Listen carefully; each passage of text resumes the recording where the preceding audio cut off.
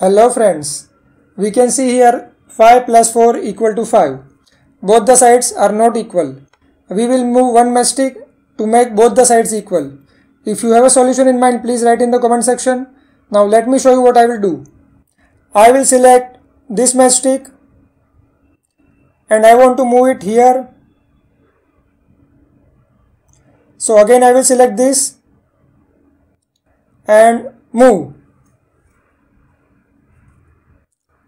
So we can see that 9 minus 4 equal to 5. Both the sides are equal.